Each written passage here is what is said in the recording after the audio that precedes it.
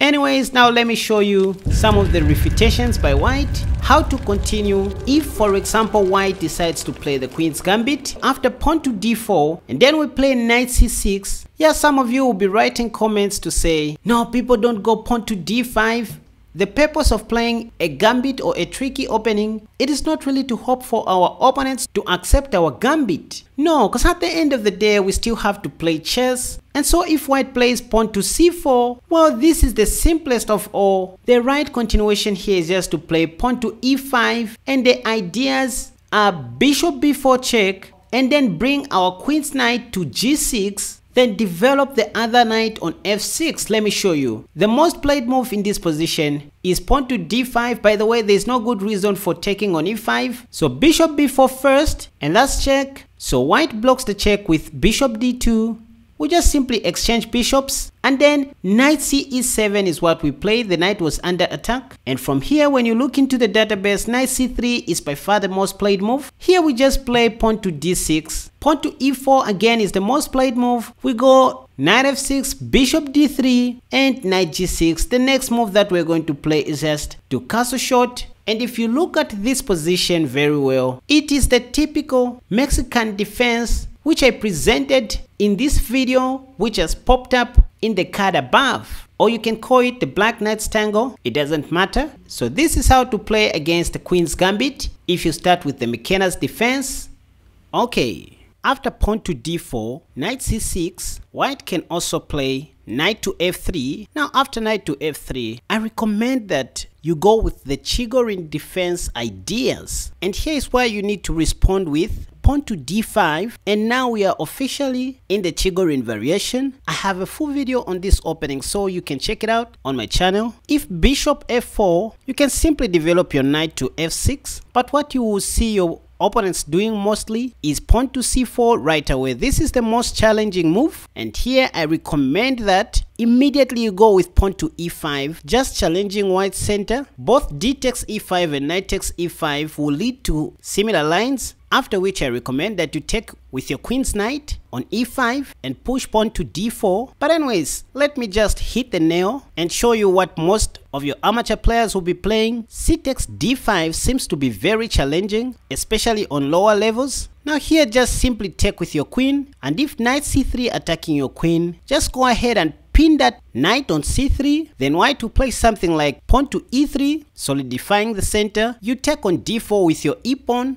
and these are the lines that you need to keep in mind when playing this line. So e takes d4 is what you will see most of your opponents playing. And again here I recommend that you just go bishop g4. So it's all about the pins in this variation. By the way, if bishop d2 by white, you just simply take that knight because you don't want to lose your queen on d5. But if bishop e2, which is what they play most of the times, you go knight f6, castle shot. Now remember that you are no longer pinning the knight, so you should be very careful, otherwise white is gonna capture your queen, which is why I recommend capturing this knight as early as possible and whenever you can. So bishop takes c3, b takes c3 and castle shot. Look at how active our pieces are. They are all out. Next, we're going to centralize our rooks. The king's rook will come on e8 and the queen's rook will come on d8. As you can see, white is behind in development, so we should be good to go from here. And in case of anything, we always have queen h5 and queen f5. This is where we're going to be playing with our queen. And these are the most important stuffs you need to know in the knight f3 refutation line. Anyways, let's look at the last refutations by white. Okay, now the question is what if white plays pawn to d4 and then we start with knight c6 and instead of pawn to c4, white still plays pawn to d5, then we play knight e5, normal moves, e4, pawn to e6, f4, and then we take on d5.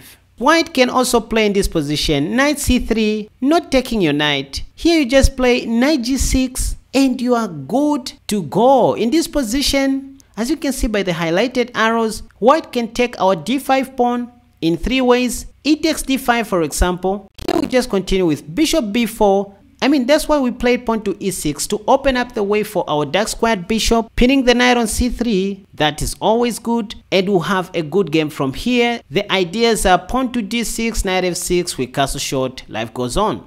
Now instead of e takes d5, white can also take with the knight Well, again, we can just play pawn to c6, taking advantage of this knight, which is in our territory.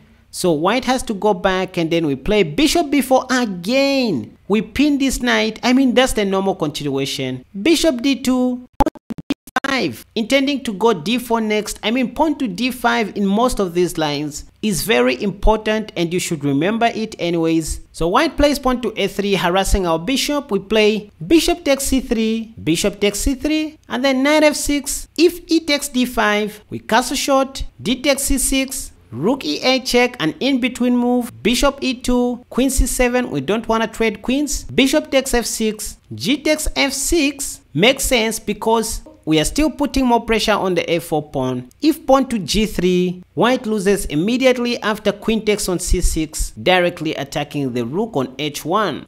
Anyways, back to this position and if queen takes on d5 we just go bishop b4 again pinning the knight. So bishop b4 is the first move you should think of. Knight e2 knight f6 attacking the queen. Knight d3 pawn to c6 again wanting to go pawn to d5 next. A3 we take the knight and after knight takes c3 d5 again. And by the way if pawn takes on d5 we can just take back with either of those highlighted pieces. And we won't have any problem. If pawn to e5 we play knight g4 if h3 we don't even go queen h4 check because we are going to lose a piece after pawn to g3 attacking our queen so we just play knight h6 to be safe. But there's even a better move to consider here. Bishop f5 deflecting the queen from keeping an eye on the g3 square so that if white takes we play queen h4 check. And if king e2, queen f2 check, king d1, queen d4 check, king e2, queen f2 check, and from here the game can be a draw. But if white gets greedy and plays something like king d3 it's almost over for him because knight 6 takes e5 check will surely win the queen after f takes e5 only move and queen takes f5 check Okay, so this is all for today. I hope I've given you enough ideas on how to play the Mikenas defense. And again, I didn't say things will always be moving smoothly. At the end of the day, you still have to play chess. But I just wanted to show you this interesting defense that you can try out against your opponents, especially in blitz, bullet, and rapid games. And you will thank me later. And this is all for today. Before I end this video, please don't forget to subscribe to my channel because that encourages me to keep on making more wonderful videos just like this one. And remember to check the link for my new website which is in the description down below where you can purchase my courses at very affordable prices. Okay, so in the next video, I will be trying out this defense against some really strong chess players on Lichess random chess players of course, just to demonstrate how practical and powerful this defense can be. So please stay tuned and hope I will see you in that video. Thank you so much.